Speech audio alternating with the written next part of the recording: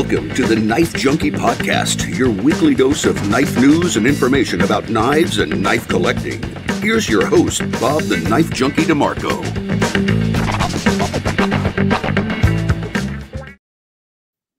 Welcome to the Knife Junkie Podcast. I'm Bob DeMarco.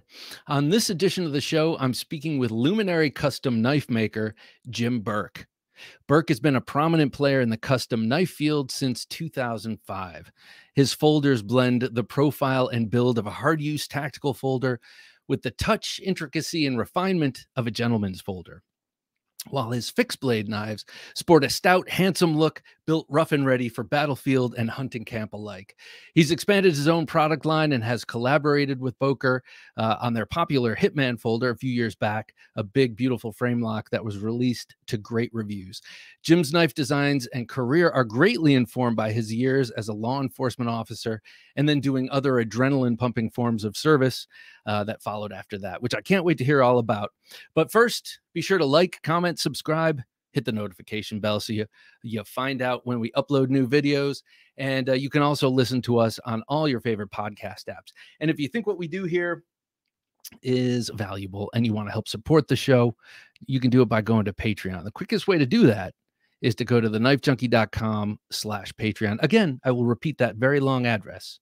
It's the knifejunkie.com slash patreon now in its 42nd edition, Knives 2022 is the annual showcase of the most remarkable custom and factory manufactured knives in one remarkable collection. Get your copy today at theknifejunkie.com slash knives 2022. Jim, welcome to the Knife Junkie podcast, sir. How you doing this evening, man? Good to be here. Oh man, I'm doing great. It's good to good to have you here. We had a we had a nice little conversation on the phone last night, which is man, it's always a, a pleasure to do that when I get the chance, uh, just to find out a little bit about people. And man, I found out just the tip of the iceberg, but I could tell that it's an iceberg down there, man. Um, so it's great to have you on. I've been an admirer of your knife for uh, of your knives for a long, long time. And uh, after we stop rolling and no one is watching, I'll tell you exactly what I want someday from you. outstanding, outstanding. But what I really, uh, what really fascinated me yesterday from our conversation was how much your law enforcement past uh, influenced your your knife making. So tell me about, tell me about that, and then we'll go back to your first knife.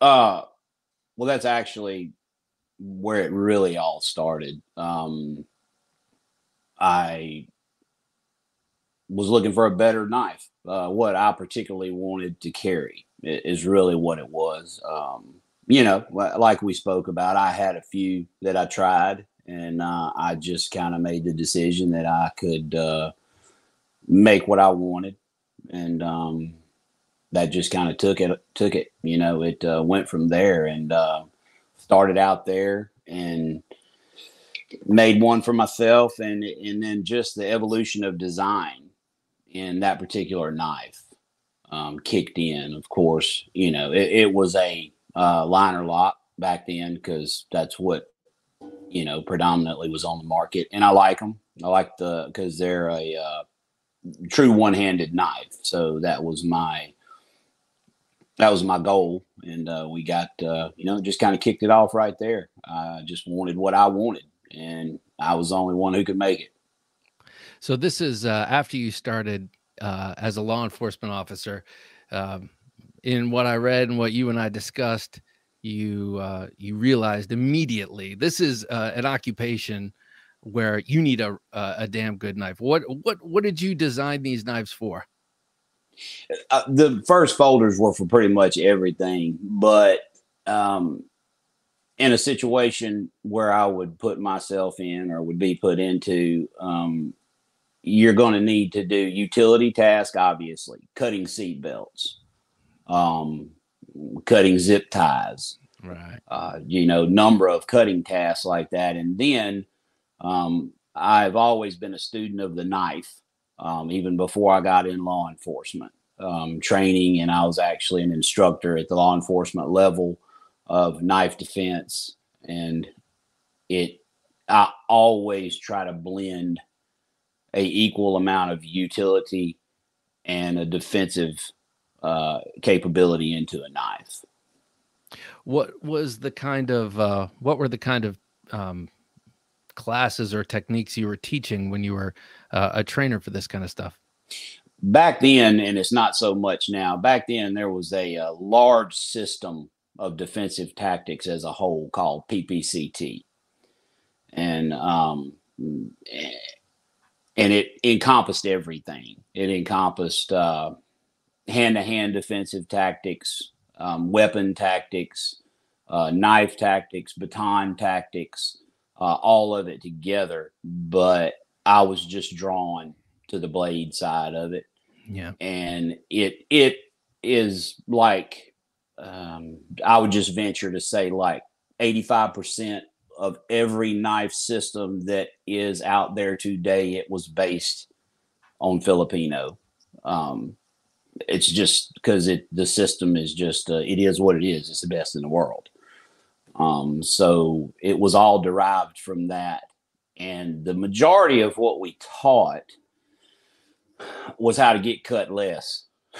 That's uh, hmm. uh, you know, that's just the simplest way to put it. Because if you're ever in an altercation with a knife, um, a serious altercation, um, where you got to go hand to hand, you might as well accept it right, right out of the gate. You're going to take a cut. So, um, and my instructor actually had trained under some guys um, that we were able to take it a step further than that for some special um, special clientele, so to speak, and step it up to um, I'd call it a level one system. You know, getting into lines and checks and passes and um, uh, things like that for actual. Just for instance, if you're in a situation where your gun is being compromised and you got to go to a blade, so you know how to use it. Okay, all right, yeah, that that's what I was going to get to. This escalation of force, or this idea of going from, uh, you know, uh, verbal, verbal mm-hmm. uh, um, interdiction to, you know, hands-on to grappling yep. to, and and that escalation of force. That's got to be it, it. It's always, I got to say, like, uh, I I, you know, just in a in a very theoretical way have done uh, knife training in Kali, you know, Inosanto, Lacoste, mm-hmm, Kali, mm-hmm. and Pekiti Tirsia. Uh, but I, I, unlike you, did never even, you know, was out there to to functionalize it or or make sure it worked. Thank God. I mean, for me anyway, uh, and the other yeah. guy, of course. But right, uh, absolutely. But this concept of uh, of using a blade as opposed to almost everything else is anathema to people. You know, it's it's almost more acceptable to shoot someone than to stab them. Oh, because it's ugly. Uh, plain and simply, it's a. I it, it, if you've ever seen it, um, I have on on multiple occasions a bladed attack or the aftermath of a mm-hmm. bladed attack and actual actual hands on as well. Just to be honest, and it's very ugly. It's it's not pretty. It's not uh, gunshot wounds are horrible. They're absolutely horrible. But when you rip into somebody or you get ripped into with a blade, it's uh, it's horrific, and you have to be of the mindset that that's you got to fight through that. Okay, so we're gonna we're gonna take that horrific image because it is, but it you know if you're a knife guy, there is or a, or a knife uh, enthusiast, even if you're the most uh, uh, you know, benign of collectors, those thoughts uh, occur to you. But I want to take those thoughts and bend them towards the beauty uh, of your knives. Okay, so so you you came up. Uh, I know that uh, just from reading your bio, uh, you made your first knife at 15. You know, did did a lot of hunting and outdoors stuff. You became a law enforcement officer. That's when that's when you decided you need to start making it for your own occupation. Mm-hmm. But then at some point, you started you took these these tactical knives and and they started to become more and more beautiful more and more intricate more and more uh, refined and precise. H- how did that happen? Um well uh, i love um, we hit on this a little last night. I love making the hardcore tactical stuff. Uh, that's my favorite.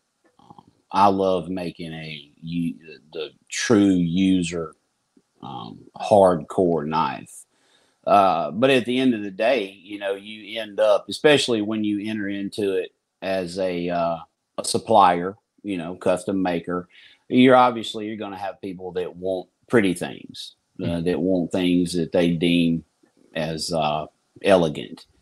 And when I was asked to do that for the first time, I actually found it fulfilling, extremely fulfilling.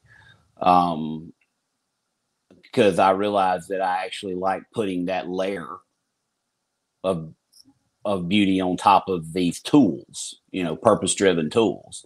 And uh, it just, uh, I just, it really kind of hit me and I liked it. So the first one led to the second one, just like all of them do, you know, and I found myself uh, where I was trying to be more intricate with things. Uh, of course, that has, uh, over the years, it's, you know, went from one to you know a number one to a 10 on that level of me doing it just uh, out of uh, passion and and and design. Just me like i like to design whether that is in the intricacy or the design itself the usefulness of the design itself.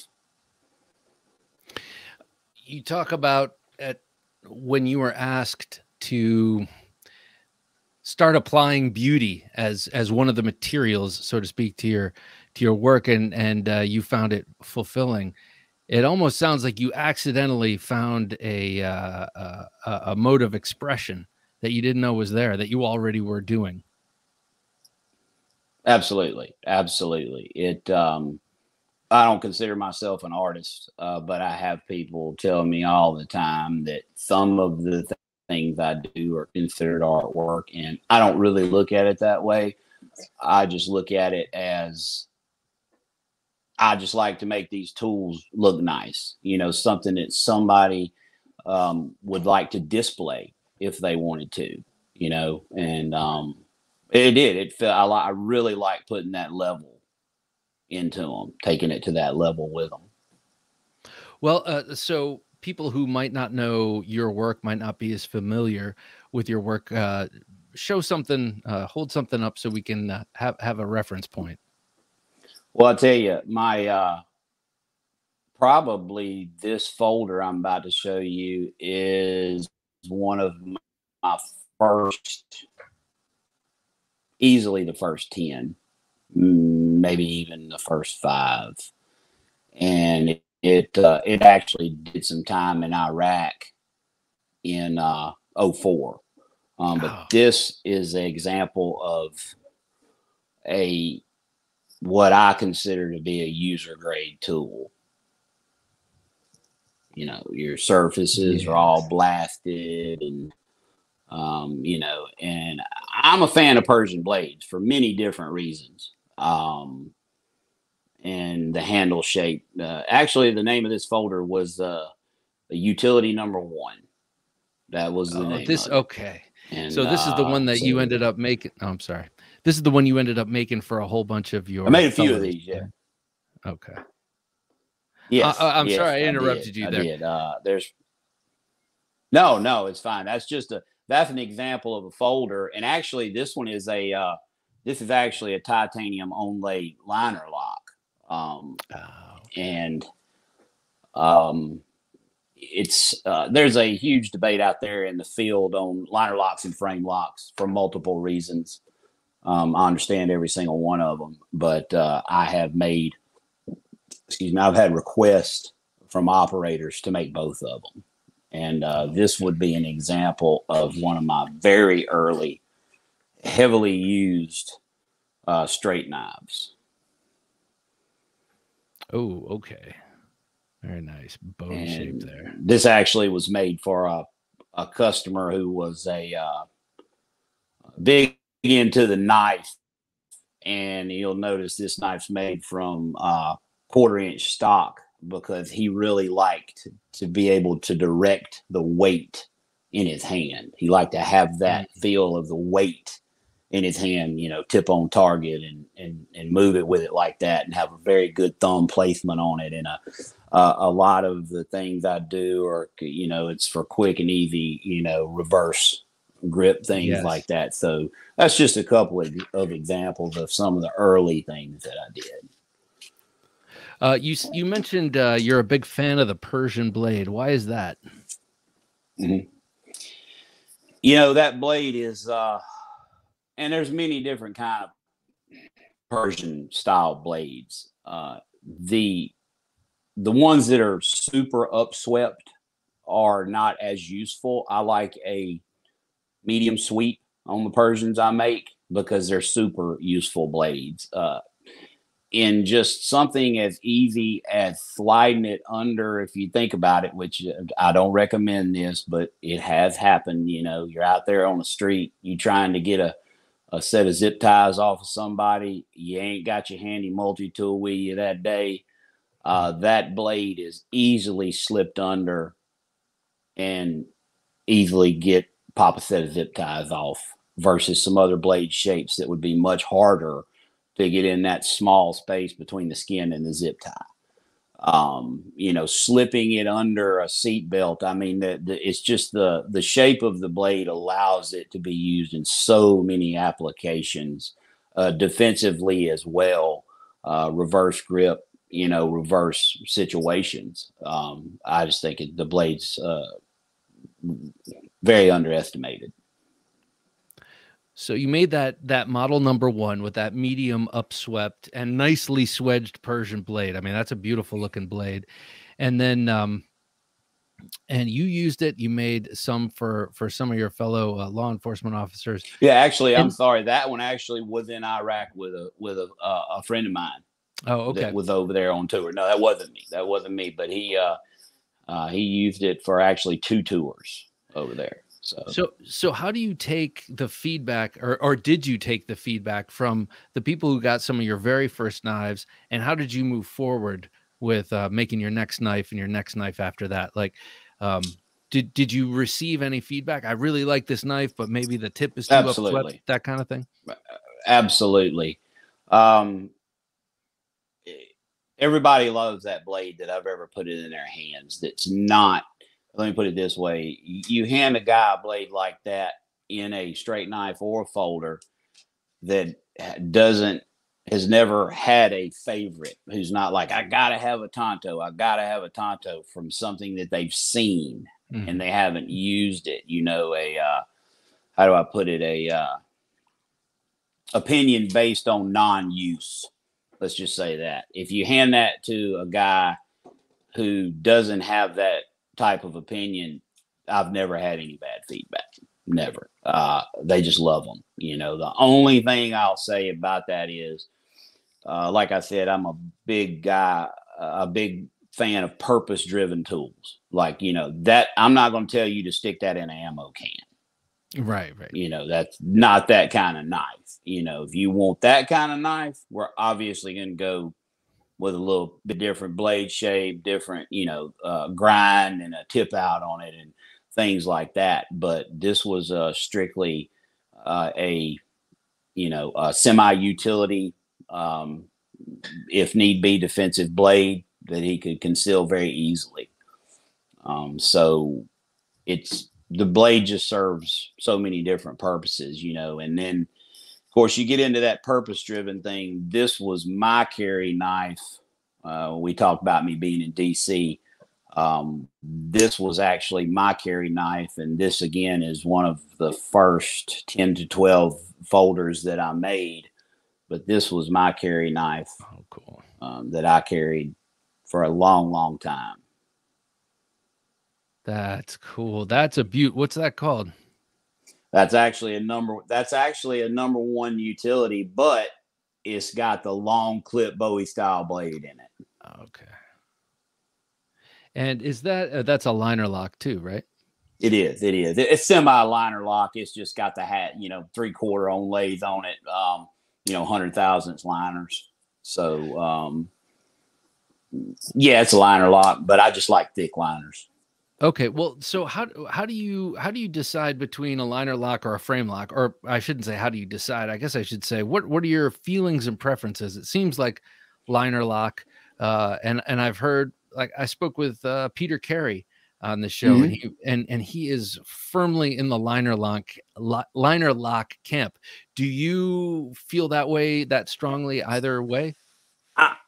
It depends. Well, as far as I'm concerned, personally, using a knife, um, I've used a knife just so much that I'm not going to flaw with either one of them. Hmm. But uh, someone who doesn't have a tremendous amount of experience handling a folder and they're looking to deploy it quickly, a frame lock's not their best option. Yeah. Because you know as well as I do, you get that pressure on that hand a little wrong, you push in on that bar a little too heavy, and you, you go to feed it or flip it, it uh, makes it a little tough.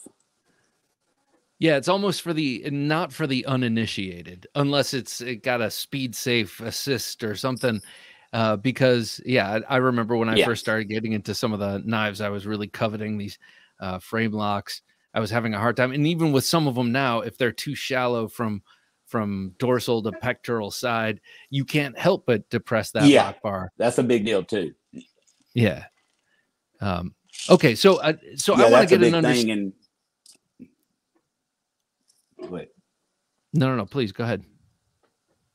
Oh, I was just going to say, like you said, it really is an experience level thing, and it's about what you're comfortable with. And I definitely agree with the width of the knife. Uh, that does have a lot to do with it. Uh, a, a, lot to do with it, depending on yeah. your situation.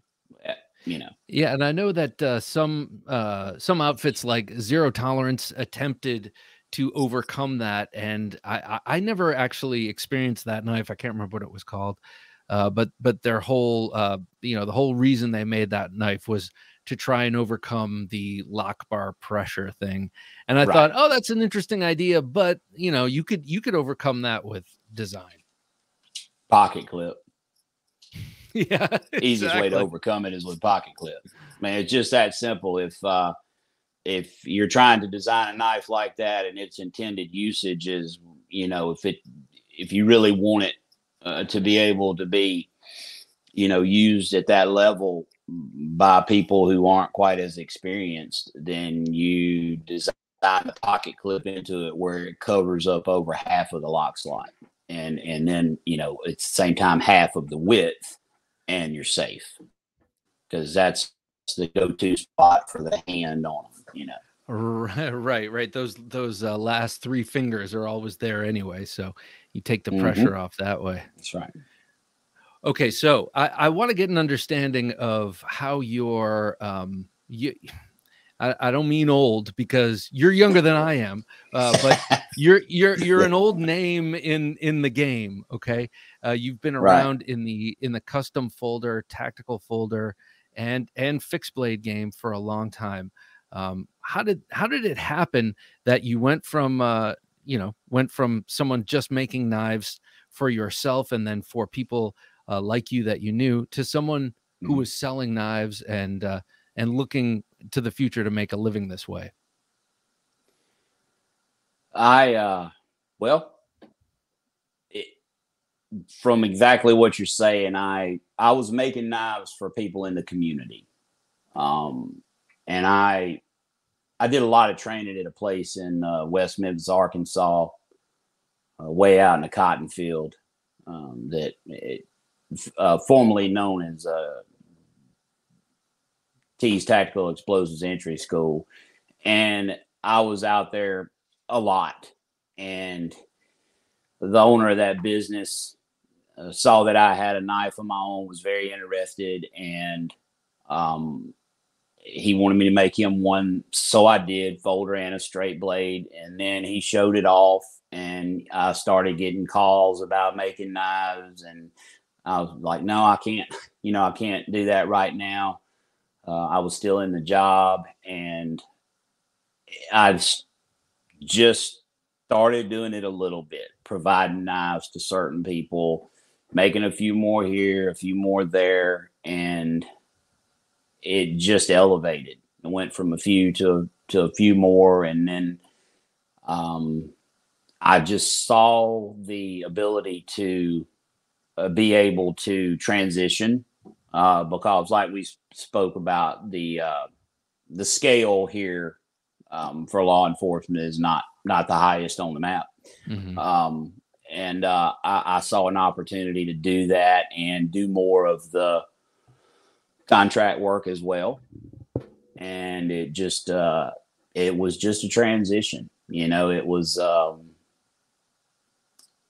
that's it. Just make a few more and a few more, and then it just turned it. It just kind of natural transition into it. I really hated to get out of law enforcement. I did. Um, many brothers all through the field, 11 years in. Um, but at the same time, you know, it was a good opportunity in mm-hmm. both worlds. So I just kind of jumped on it. That that's got to be a uh, you know a, a real uh, intersection in life. You know, you you're doing something that you know and love, and that you know really well for a long period of time, uh, but you're also doing something else parallel to that, and maybe that thing is even closer to your heart and there comes a time when you have to you know where those two lines are going to cross they're not exactly parallel yeah. and eventually right. they're going to cross and and you're going to have to make a decision and the to me it seems like the most harrowing thing is when you make that decision uh, very much so um the unsurety of it like we talked about i got I got buddies uh, that are retired, have retired in the last couple of years, and I, I do look at that oddly enough, you know, I look at it and I'm like, well, I would have been retired, uh, I don't know, probably five years ago. And, uh, but at the same time, I don't regret my decision. Um, it's, it's, it uh, has supported and does support two kids. And uh, I have a, made a huge amount of wonderful friends in this community that are equally um, embedded like I am on the other side of this thing. And it's an amazing place. The knife community itself is just a just a crazily amazing um, place. It really is. You know, I mean, you go to the Blade Show, and you know, God rest his soul. You know, Dick Marcinko's there. You know, back in the day, and you right. know, just I can't tell you how many other people I ran into. You know, in the community, it just uh, and it just fit you know, once I went in 2003, when I walked through the doors at Blade Show, had a box with about four knives in it just to show people, uh, and ran into, you know, I mean, it was just uh it was a good fit, felt good. Yeah, it seems like something that uh, you don't really retire from. I mean, you might slow down in making knives, or you might you might eventually stop altogether. But um, you know, like a job out in the private sector where you're working like my job or like your job was it comes mm-hmm. to a finishing point and you, and you know okay i'm done with this yeah. now it's time for my golden years but something like this it never stops. You are never going to be probably never going to be satisfied completely with your knives. You will always have a reason to make another one and it's not just to fill an order. Right. Uh, evolution. It's evolution of the knife you know um, everything about it. Um, the the the usefulness of it, uh, the way it looks. Um, elegance of design. Which, like we like when I first started, I, I was worried about. I wanted it was a purpose there. You know, the designs are still purpose driven, but I also look now at the elegance of the design versus just that purpose driven uh, part of it. You know, I want it to all flow together now. How does your design process work, and how does it uh, how does it eventually evolve into the building process? Uh, well, I'm I'm uh, I'm not like some other makers. I don't sit down with a uh, sketch pad and draw stuff up. Uh, I may have a sheet of paper that I sketch something out on that nobody else can recognize because I'm not a great drawer. But um, I will sit down and think of everything I want to go into the knife first. And then the other thing I always look at is obviously I want the knife to have certain most knives. Now my slip joints, that's a different animal. That's a completely that's a different world. That's a different animal. That's my father's world. That's a pocket tool. That's a different it's a different thing. But my tactical folders all have, if you'll notice, they all have certain characteristics. Um, the mechanic B. Um, this is this is one of the mechanic B, the one of my newer models, and I have a mechanic. It was a hawk bill, and then Oh, I wait. have the mechanic. Hold it up. Let's see that Oh, beauty. Oh, Let yeah, yeah. Let's see that. Put that right up to your camera because this is the one I'm gonna get someday. I love this knife. Dear well, God, get it over in frame there. look at that. Little Westinghouse micarta. Actually, that's uh, a slab uh, carbon fiber. That's your. Oh no, no, uh, no! I know, but I, I've seen you do this. Oh, you want? Oh, yes. Oh, absolutely. I'm a. I am a. I am a nut over Westinghouse. Uh, God, that is because it's just uh, micarta is, uh, especially canvas micarta. You know, I can get all the blood I want on it. I can put 50 weight motor oil on it, and it still is not going to slip out of my hand if it's finished for that. It's finished to be used. Right, right. um you, you know and uh it's it's you, you just the only thing you can do to it's really burn it to to tear it up you know and that's just one of my favorite materials in the world. Um but this knife one of the things i was going to is is about every knife that i make it, you know you're going to be able to butt strike with it. You know it's going to be it's going to be fairly easy to reverse grip you know and you'll have a, that purchase on the rear end of it. And it's just you know it's uh it's made to be used in every every application uh fits in the hand well you know try to meet up with all and i have a very i have a very large hand. So it's uh you know for me to make an for me to make a knife that fits everybody else and myself. Now that's where the challenge really is but uh so it's qualities it's all certain qualities in a knife Okay, uh, hold hold it back up and show me the handle again, real quick. So you you just addressed something specifically that few people do that uh, I'm I'm happy you mentioned, uh, and that's about the pommel of this handle. Uh, Mhm. you you mentioned it as uh, you know you you can use it for butt strikes. So I'm assuming that you mean it's long enough, because what I love about this pommel is that it's not pointed; it's faceted so that your Mhm. thumb can hook over it. Uh, in but in in a reverse grip you want to be able to get that purchase on it right there without having something that's poking through your thumb.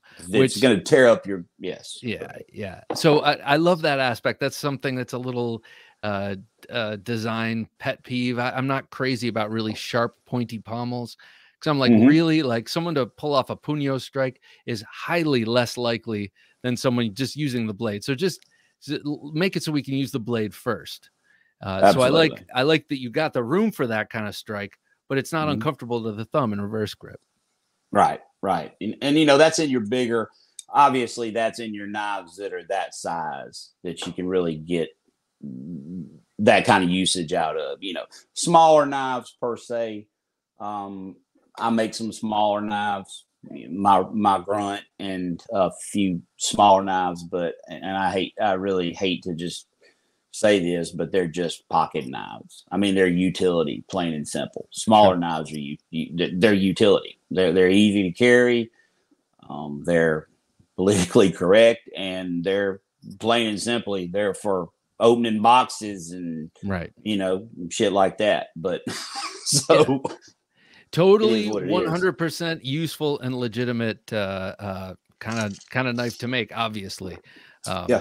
I, I tend towards the the mechanic b but i yes I, I also have a collection of slip joints i love slip joints and we'll talk about the rebel in a minute but i, I want to get to um so you you're talking about your design is kind of an organic Mhm. process you don't really necessarily sketch it down uh, Mhm. but but you kind of go to the shop and you start Mhm. working and things evolve from there tell me about your Oh. shop and tell me time tell me about your uh your in shop you know life what's what's it like Well, well, that's a great question. It's a bit odd. I live in it. Um, so uh, I actually live in my shop. Um, so I'm here, you know, a lot, and that leads to a lot of work hours. Um, And as far as design goes, I can spend because after I get something in my head, I'll go straight to the computer, pull up the CAD, and I'll just start creating arcs and lines. I'll just start creating them,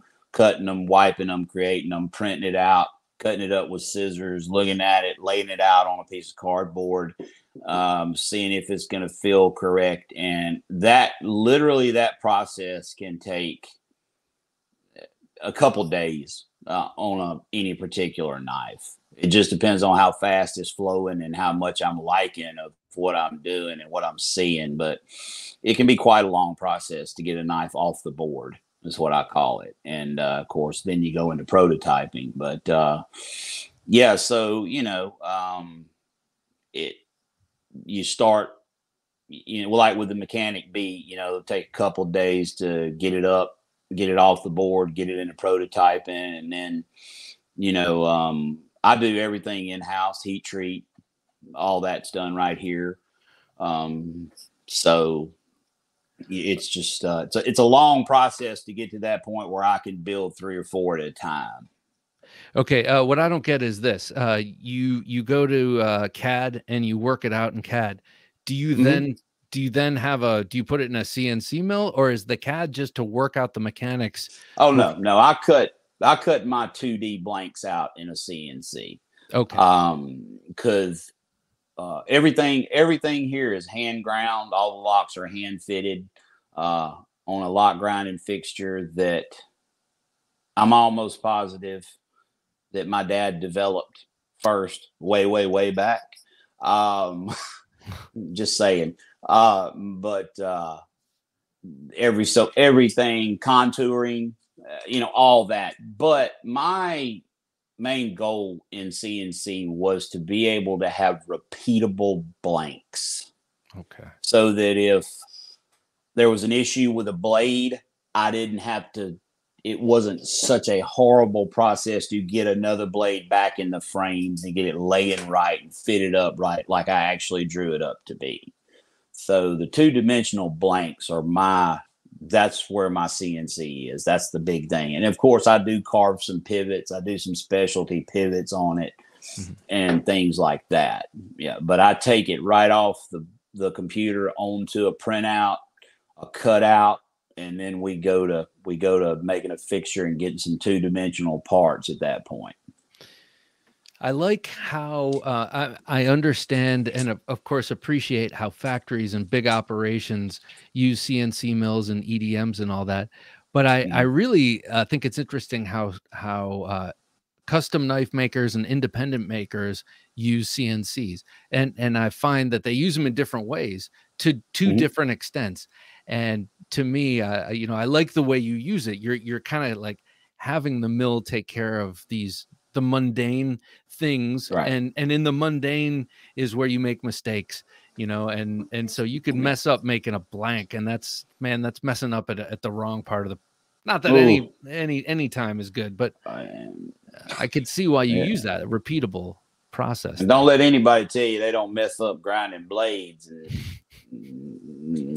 they always turn out right because and uh you know it happens and bad day couple blades down, oh, you know, and that's just hours and hours of refitment if you can't take a two dimensional part that already lines up in your open and closed position. Um, you know, that's a big deal. That's a huge thing. That was my main goal with CNC was plain and simply to have two dimensional parts that I could reach from once I had a design that I liked and then build you know, build on to it. You know, um, I mean, you can cut out your overlays with it. You get your two dimensional blanks. It, it's really no different. I don't use it any differently than a pantograph.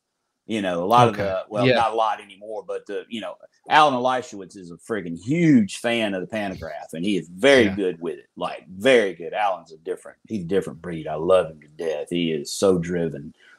Um, you know, uh, just knowledgeable on everything. But uh, okay. he is a you, you know, and I, and honestly, um, Allen and I talked for a long time before I went into a CNC about going with a pantograph. And by the time all the pros and cons were weighed, uh, the clear choice uh, was the CNC. And one of the big reasons was being able to draw in the software because being able to proof a knife Mm-hmm. in open and closed position and know how to draw that is a huge benefit.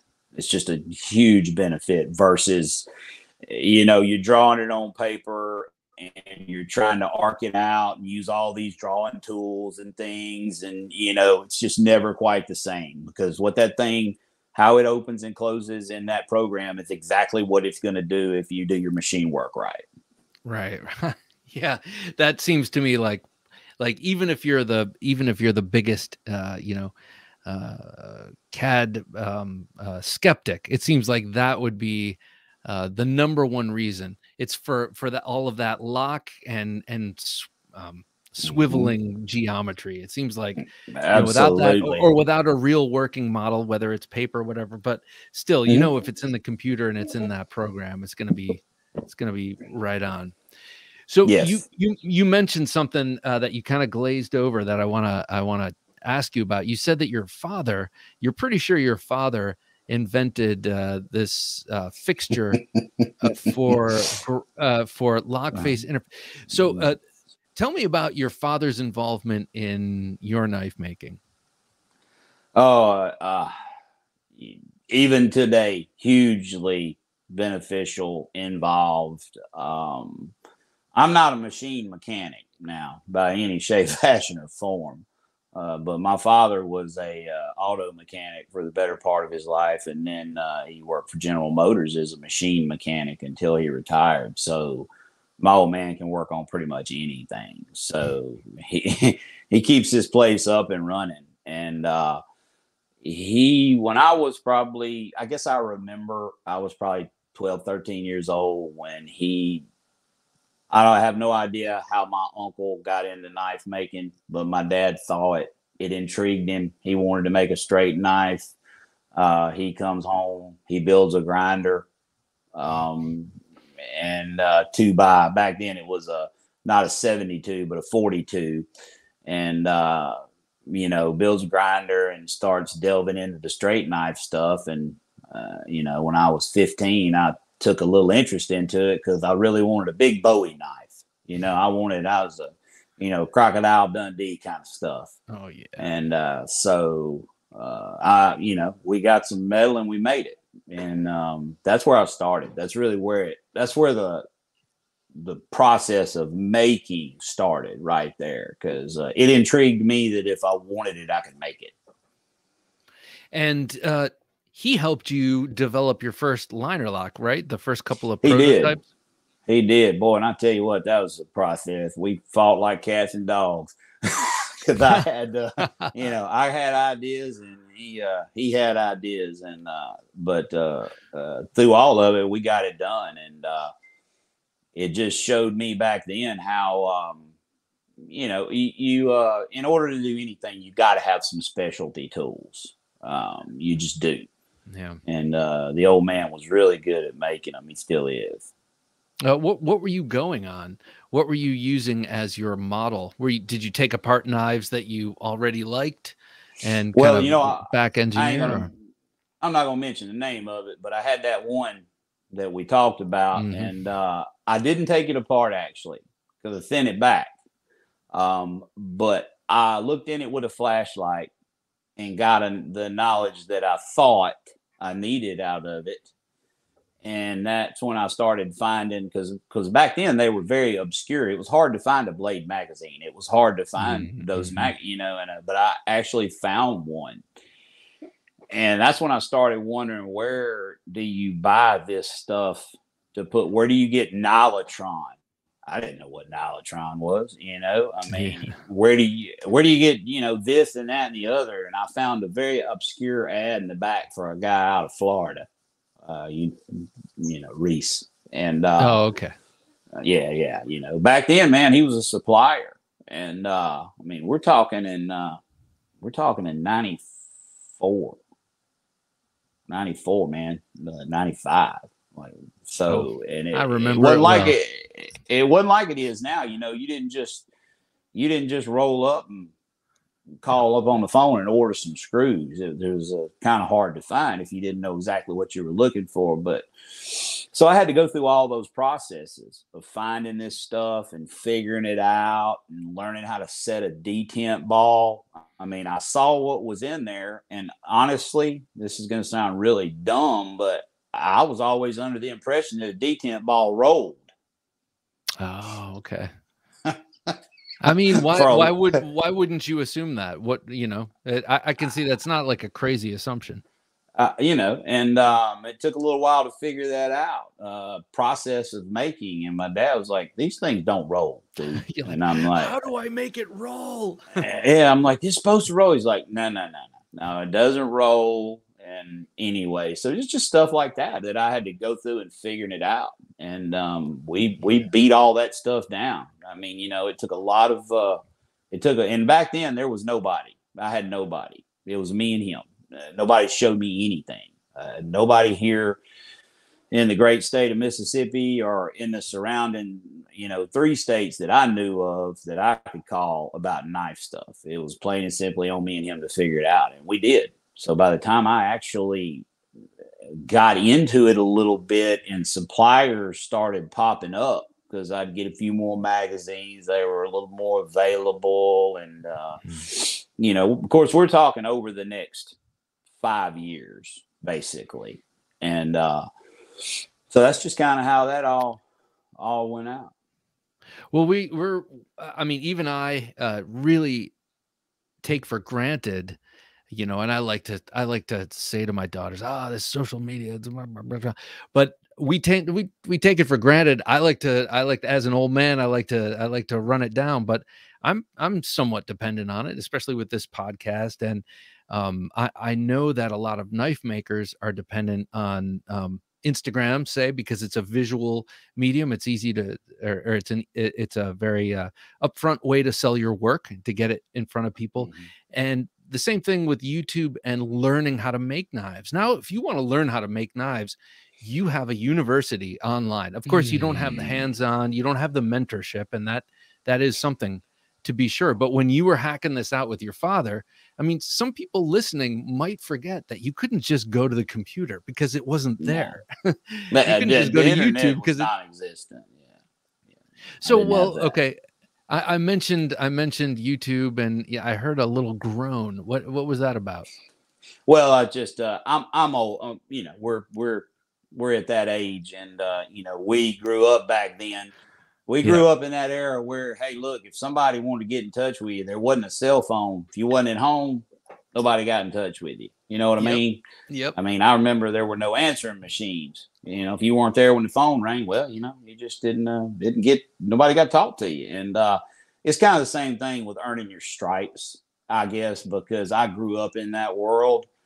I grew up in that world with everything and law enforcement and uh, other community and uh, and in knife making where you earned your own stripes, man. You know, nobody gave that to you. I remember the first thing Tom Mayo ever told me 2003, I showed him one of my knives. He said, Kid, can you get your job back or whatever, something like that, you know? Actually, I'm sorry, it wasn't in 03. It was, uh, I met him in 03 and he told me, Don't quit my job. Don't That's quit your day was. job, kid. don't quit your day job, kid. He said, Don't do it. He said, You'll regret it. And uh, then a few years later, he said, Can you get your job back? oh, manage. That is I love harsh. It. I love harsh, Tom. But... Tom's hey, you know, it is what it is. But that whole earning your, you know, uh, beating it out, walking through it, you know, yeah, yeah. Uh, I feel like anyway, I won't get all off on that. I'll just say it's a very easy now to pop up the old YouTube. If you want to mm-hmm. learn how to grind, then it'll, you know, you, all the processes are right there for you to see. Okay, so so I went through art school. Okay, so you could you could probably argue the same thing. You could go to YouTube and learn how to draw, um, you know, and and you're you're you know depending on your natural talent, you know, become a good artist or whatever. Uh, but there is something about being about hacking it out like you did, like I did in school, and and mm-hmm. under the tutelage of actual real people. Um, but uh, the idea of of of uh, just kind of popping onto the scene. I mean, uh, I, I I am I am totally. I don't know. I, I have uh, two different feelings about this because uh, I love the knives that are coming out of everywhere, um, mm-hmm. whether they're um, uh, people who are making them in their shops or people who are designing them and having them made. I'm just kind of a, a fan of all of them, but um, it's interesting to think about how this all comes together right now. Right, right. It's uh, I'm uh, I sound very uh, like I said, I am a fan of earning your stripes. I really am, but at the same time, um, I don't. I would help you know, I've had many people ask me for help, and I'm all about giving it to them. Yeah. Uh, I'm all about it. Like I, I, feel like that if you can't share with people in this community, then you're really not doing, you know, what you uh, you're not doing what you're supposed to. Just like with most things in life, and uh, you know. But I'm like you. I got that old part of my brain that's going like, yeah, they're not this, you know, that kind of thing. You know, I mean, maybe that's a, you know, that's a my granddaddy coming out and whatever. But it, you know, I, I I'm like you. I feel like the age of information is not a bad thing. I just happen to come up in an age of no information. Yeah, it's just not everything. Yeah, right. No information. Yeah. So so just like you said, you're willing to share, and that's what I hear from everyone, and that's like uh, ev- everyone that I speak to on this show has had someone uh, show them uh, some generosity of knowledge, and that's a beautiful thing. You know, you could teach me how Jim Burke makes a knife, and I will never make a Jim Burke knife, and you know that. That's why you're probably willing to share your knowledge, and uh, but the flip side of that is the part that I think is missing from just learning from YouTube University, and that is what Tom Mayo was giving you, which is criticism mm-hmm. and and constructive yeah, criticism, not just like you suck, but constructive criticism uh, is so valuable in becoming good at whatever you're doing creatively. Absolutely, and uh, well, it's uh, you, uh, you got to be real careful giving that these days. Um, constructive or not you know it's uh but i would feel like in our world it's well accepted you know um i feel like anybody who wants to become i got a guy i'm training right now actually uh have been working with him for about a year um, he's on straight knives and uh he calls me drill sergeant that's what he says he's like when you're in drill sergeant mode let me come over and, and i'm like you know because I'm, I'm hard on him you know, I'm like, pay attention. Don't ask me this question again. I'm showing you now. Don't ask me again, you know, uh, that kind of thing. But uh, he's coming along real good. And uh, I, I, love it, actually. I actually love teaching.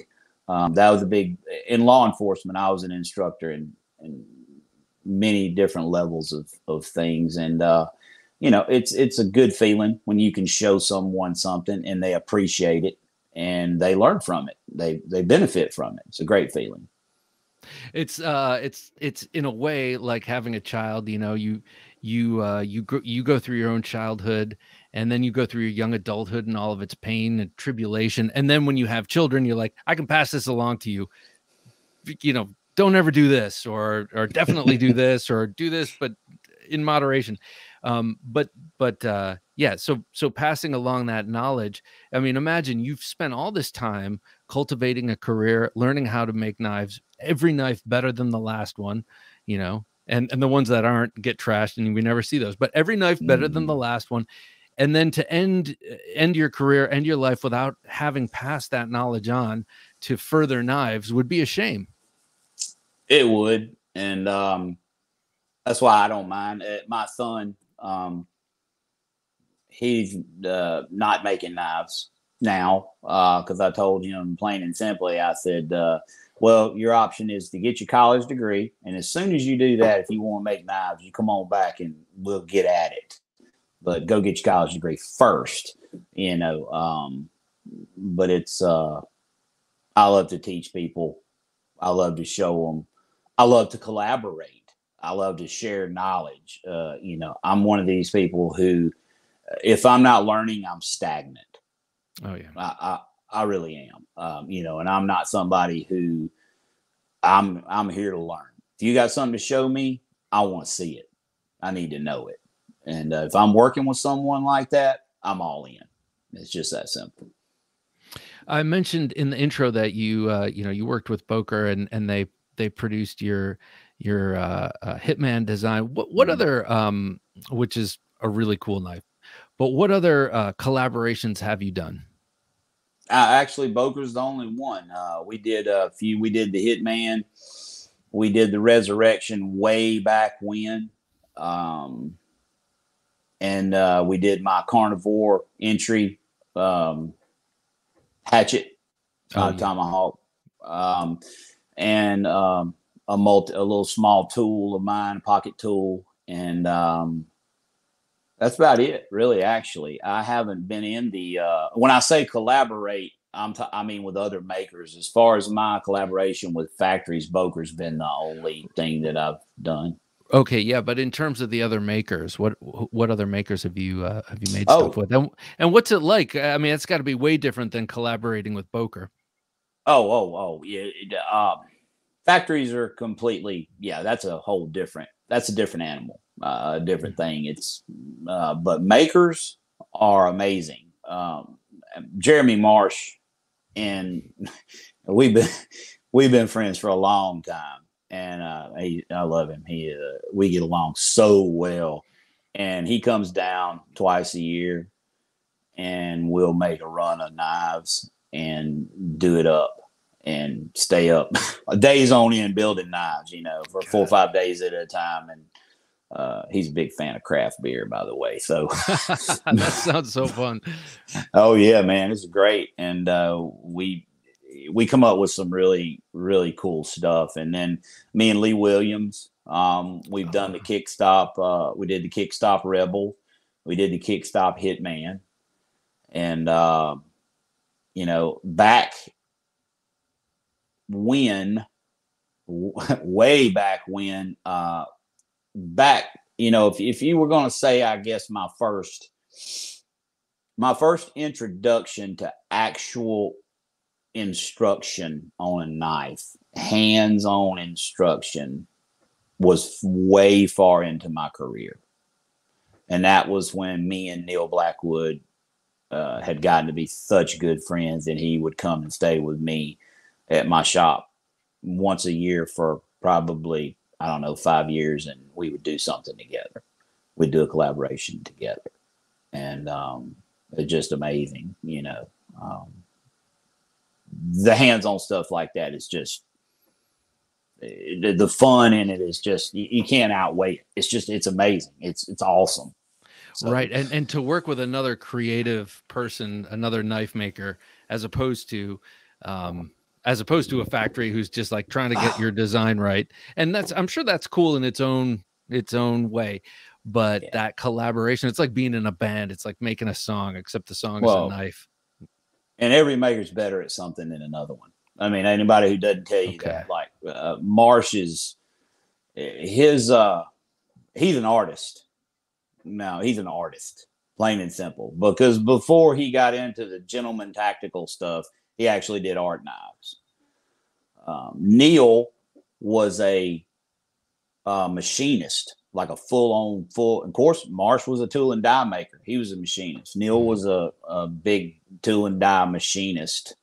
Uh, went to Switzerland to study and stuff. So his uh, his ideas about you know things it just it all forms from that you know and um, he uh, is probably one of the top five grinders on the face of the planet period paragraph um, you know Brend as everybody mm, says. Yeah. Uh, Walter's probably, you know, I mean, he's one or two for sure. Um, but Neil um, back then was he was top five easily. Those big swooping grinds with those mm. rolling shoulders, and that's actually where I, when I do my recurves, that's that's where I learned that. That's where I got learned really how to get into grinding was through Neil uh, and many years of many buckets, five gallon buckets of scrap blades. So, oh man, you mentioned Walter Brend and and Uh, to me, he's uh, uh, he's he's in my top five of uh, fixed blade custom knives that I'd love to have, or at least check out before I kick the bucket. Oh, yeah. Oh, Oh, yeah. man, they just they just sing to me. I, I love Walter Brend knives. They're beautiful. Yeah. Beautiful pieces. Uh, and he and Walter also is a very good. Uh, well, he's a hundred percent professional at, at brazing guards. Oh, okay. Uh, and when you're making fixed blades like he makes, that's a huge thing.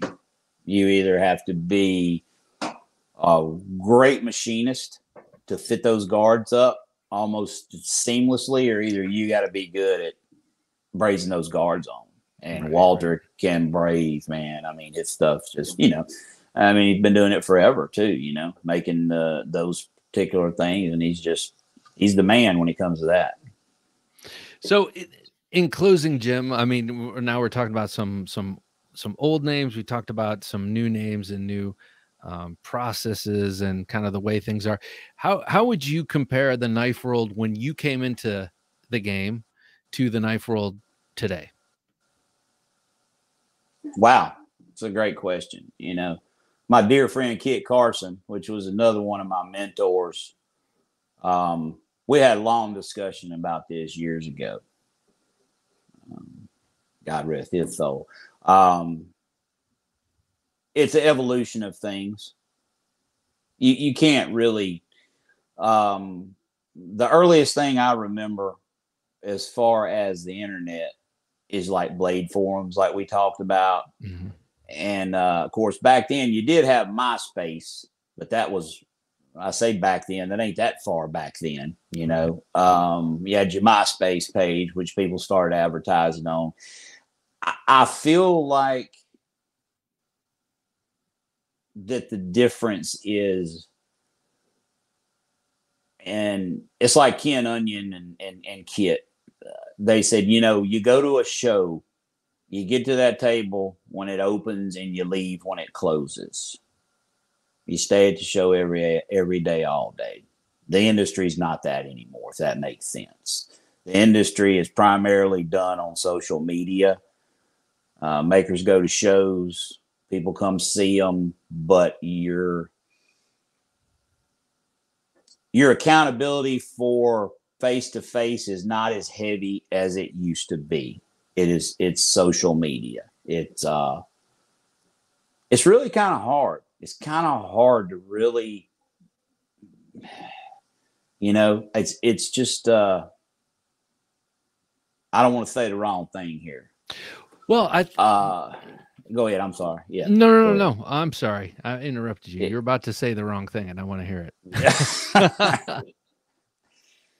uh, uh, uh, we talked about collectors, um, true collectors of knives.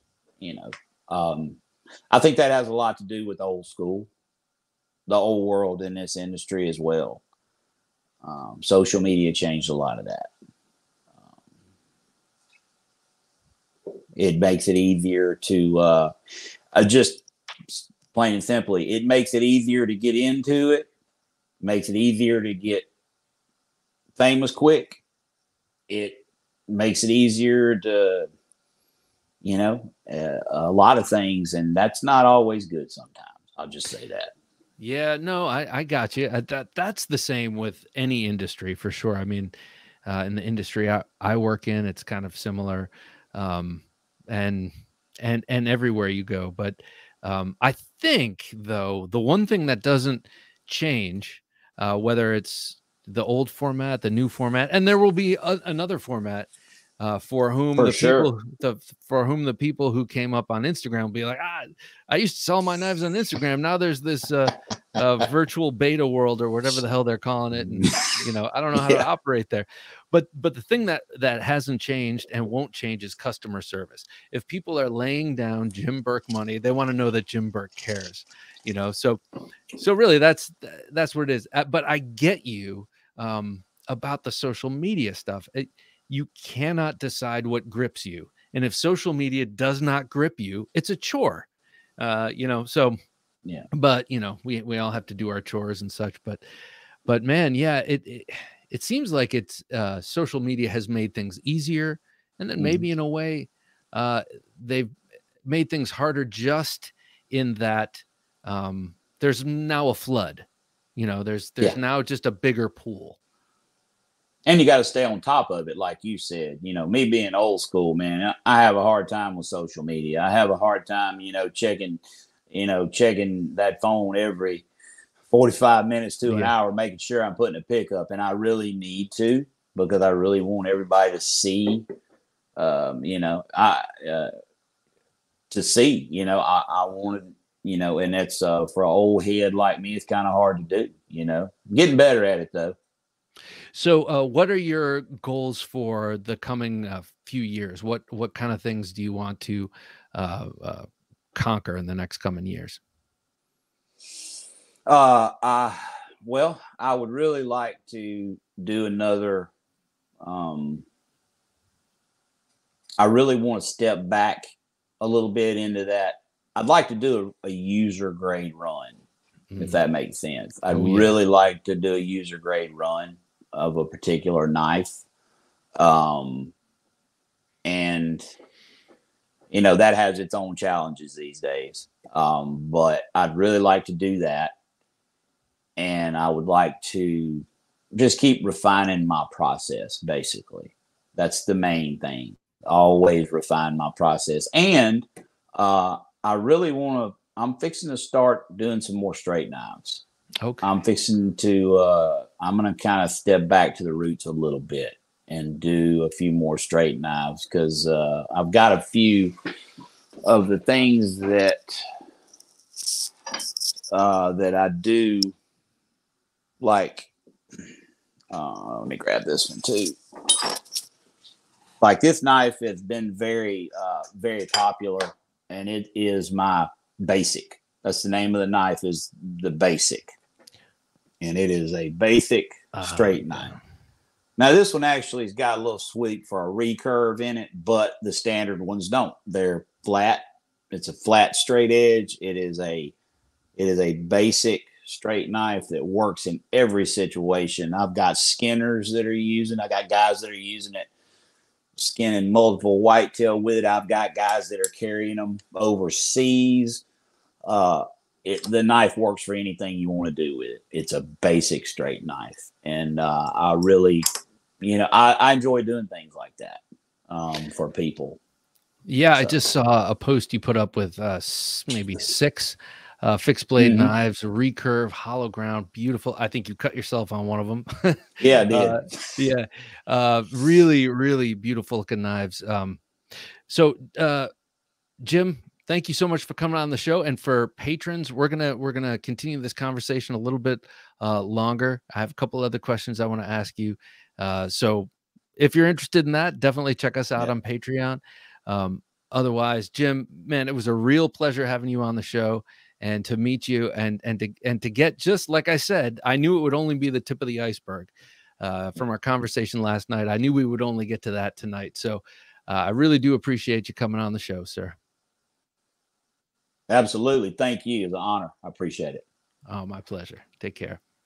The Get Upside app is your way to get cash back on your gas purchases. Get Upside is an app you put on your smartphone, and whenever you need to get gas, search your area for savings, claim your discount, fill up your tank, and then take a picture of the receipt with your phone. And that's it. You've just got cash back. Visit theknifejunkie.com forward slash save on gas to get the app and start saving. Again, that's theknifejunkie.com slash save on gas.